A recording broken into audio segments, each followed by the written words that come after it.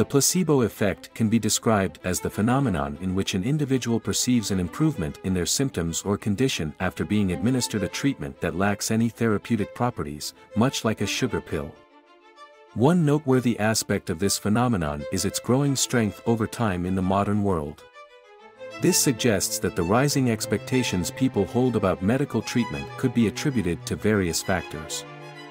One factor contributing to this phenomenon is our ability to manipulate expectations in modern times.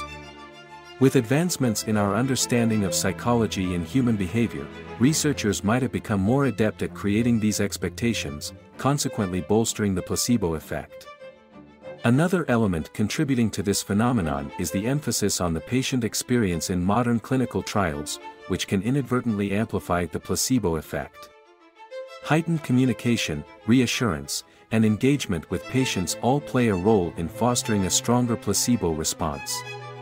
Moreover, the growing accessibility of health-related information via the internet and media has elevated patients' expectations of medical treatments, potentially leading to an augmentation of the placebo effect.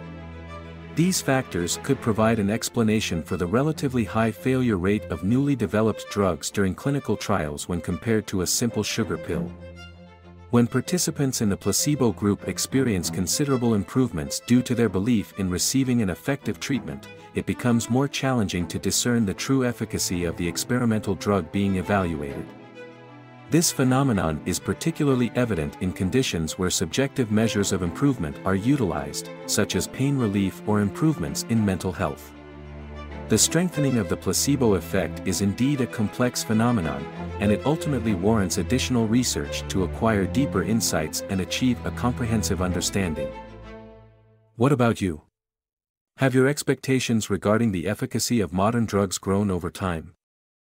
Thanks for watching.